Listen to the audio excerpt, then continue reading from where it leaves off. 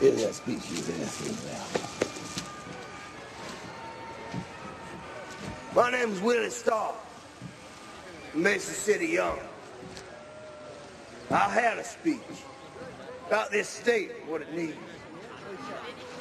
There's no use me telling you about it. You are the state. You know what you need. Look at the knees of your pants. Look at your crops. Look at your kids. You got hoes and rot and ignorant offspring on account of this state. Well, I had a speech, but I ain't got it no more. Mr. Duffy got it now in his fat little hands. Don't you, Tiny? Go ahead, show the people. Hold it up. Well, since he got it, I'm gonna have to say something else. It's all right. Because I got something else to say. I got a story about a redneck hick, just like yourselves, if you please.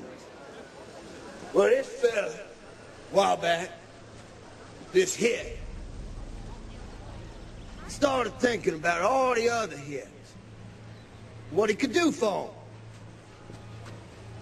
them. And one day, it came down with the powerful force of God's own hand when the only brick schoolhouse ever built in his past collapsed on account it was built with politics rotted brick and they killed and mangled a batch of poor young scholars. Oh, you know this story. You heard it. He fought the politics, built that schoolhouse with rotten brick bolts.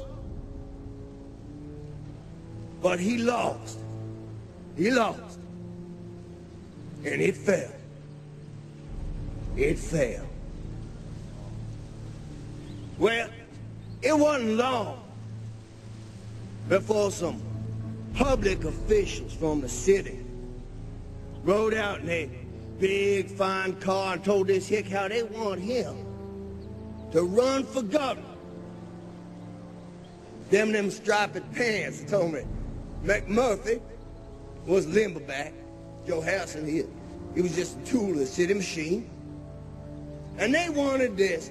Nobody do good ahead to step in and give them some honest government. You know who they were? In that big fine car?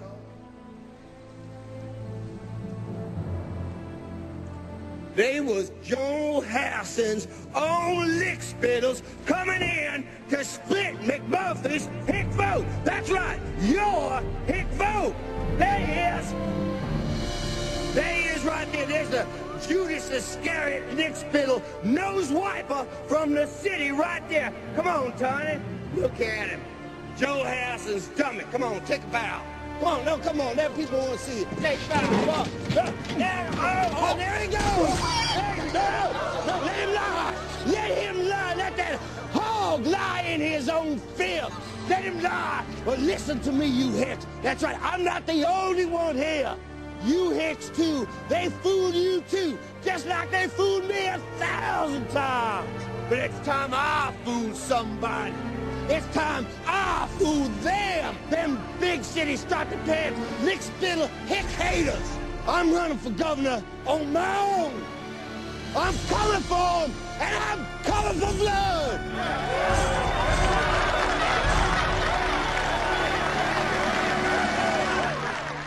I'm gonna do is build me a road out here across the swamps and alligators, and anything else gets in my way. Thousand miles of concrete if that's what it takes. So I can come out here and visit with my fellow Hicks on a regular basis. Then I'm gonna build me a bridge across that mighty Mississippi, name it after myself, because I'm the one built it. Then I'm gonna build you a new school, send your kids home with free tablets and pencils and books to study and learn on the way to the new university I'm gonna build, wherever one of them can go, same as rich folks' kids.